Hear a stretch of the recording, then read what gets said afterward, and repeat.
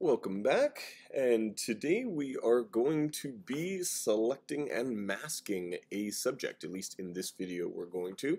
Uh, and then later on we're going to use Puppet Warp and raise this uh, girl's chin. If you're in my class, you should download the 06 start file uh, from the Classroom in a Book series, and you should go to File and pick Save As, and change the word start to working. And then you can save that into your Google Drive folder. So I'm going to make a new folder here actually and call it Photoshop 2. Awesome. And I'm going to make sure that the format is Photoshop and I'm going to hit save. Great. Okay, so let's select this uh, person. So we're going to go into a new tool, select and mask, right here. Pick select and then select and mask. The next thing that I'd like you to do is I want you to click on select subject. Now, in actual fact, what you will see is you will see this, because that's the default, which is really hard to see in my opinion. Now if you take a look over here on the top right you'll see this view section and you can pick a whole bunch of different ways to view the selection. Now say that's very start. Uh, I want you to go on through. Please notice that there are also shortcuts. So O for uh, onion, okay. M will pick the marching ants. And uh, the book actually wants you to pick overlay, which is showing this red overlay right here. That's okay, I guess. I don't like it as much as Marching Ants. For me, Marching Ants is the best. You can pick the one that works best for you. Now, you will notice it has picked this, uh, the girl, and it's not done too badly. We're going to refine it just a bit just a bit. So let's zoom on in. Hit Z for zoom, it turns to a magnifying glass, and we can zoom on in. Spacebar turns to a hand, which means you can grab and move around. So now we're going to add to this selection. Adding to the selection, uh, we're going to start off with the quick selection tool, which is up here, but it's also the letter W. I'm going to pick about the size of 13. I think the book suggests about 15. And we are going to click in here and drag along throughout the part that we missed. And it picks all the part that we missed. Now on purpose, I'm going to go outside here a little bit just to kind of show you if you miss or if it adds in parts you don't want, hold down the Option key, Alt on Windows, and you just paint the part that you don't want and it removes it. You also notice that it has, it's really hard to see, but it turns into a minus sign in the middle of the brush as opposed to the plus sign when you let go. Alright, so letting go of that, so now I have the plus sign and I'm adding to the selection and again it's doing this and so I am going to go around all the way around. And hold down the space bar each time to get the hand tool and I am following this all the way around and adding in little parts where it has missed. That's okay. It's good. Now leave this hair strand here and I'll I'll just show you why. If I try to get it you see this We'll come back to that. Command Z in order to undo what I've done. Okay, same thing with this hair in here. Don't worry about that stuff. That's all very fine. We're going to work on that after. And I think we are good. Okay, awesome. So now what we're going to do is we're going to come back to this hair strand on the back of her bun. And we are going to pick the um, what are we going to do? We're going to go with the Refine Edge Brush Tool, which is the letter R.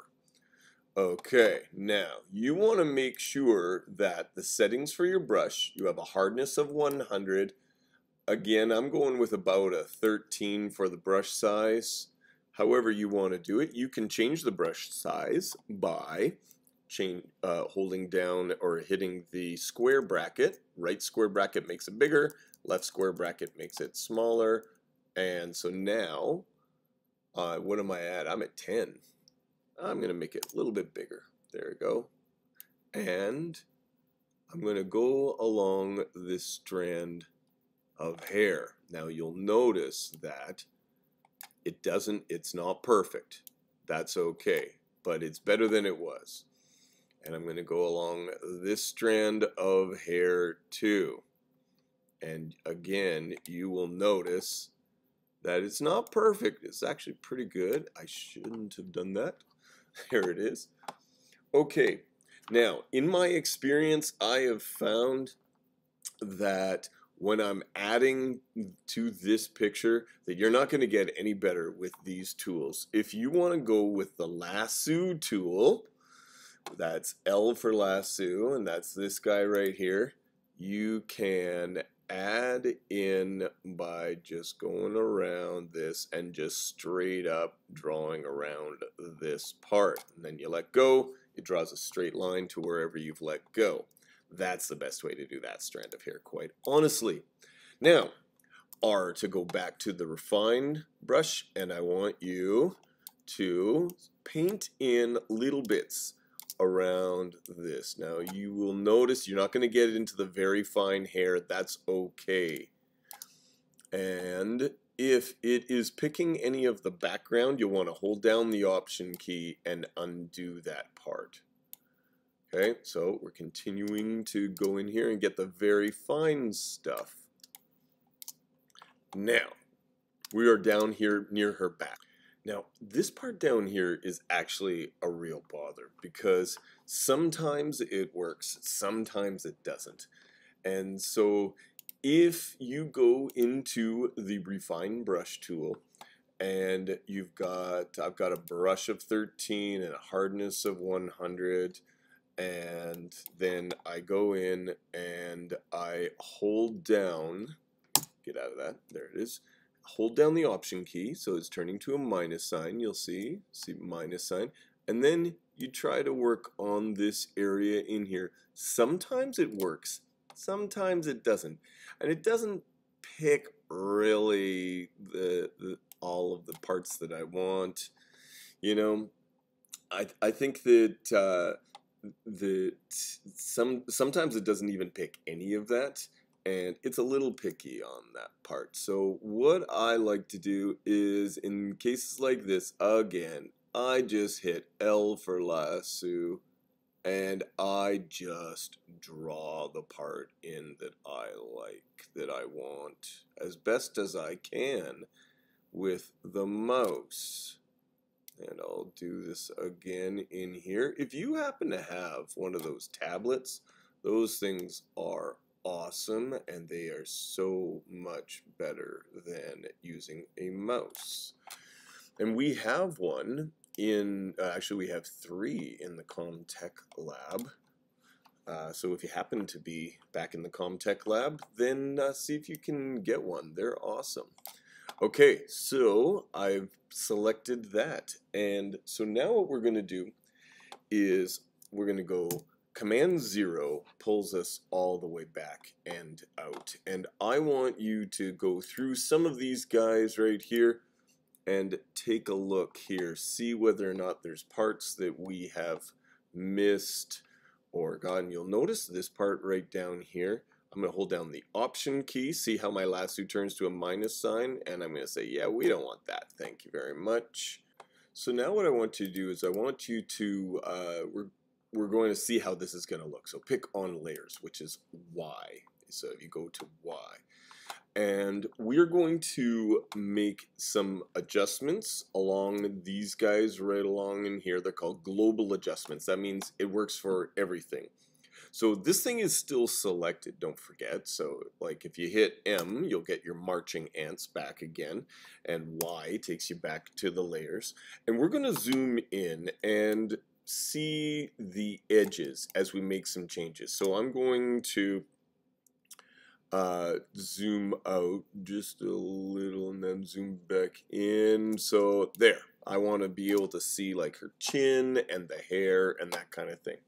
And I want you to take the smooth slider and I want you to go back and forth just so that you can see. Go all the way up to the maximum amount. See this extra amount that's added around her nose and her lips right here. And I want you to pull it back on down to zero and you'll see that that's gone. As a matter of fact, we're just going to add just a touch. Just going to go up to about five on that. And then we are going to, uh, we're going to shift the edge.